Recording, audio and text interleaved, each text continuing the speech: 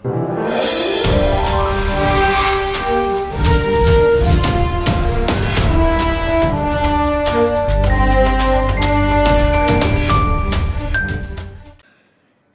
మొదట్లో మాస్ చిత్రాలలో నటించిన రామ్ చరణ్ ఆ తర్వాత కుటుంబ కథా చిత్రాలను ఎంపిక చేసుకున్నాడు అందుకే గోవిందుడు అందరు వాడేలే ధృవ రంగస్థలం పంతొమ్మిది వందల ఎనభై ఐదు వంటి సినిమాలు చేస్తున్నాడు అయితే ఈ మధ్య మాస్ డైరెక్టర్ బోయపాటి శ్రీను దర్శకత్వంలో సినిమాను చేసేందుకు అంగీకరించి అందరికీ షాక్ ఇచ్చాడు.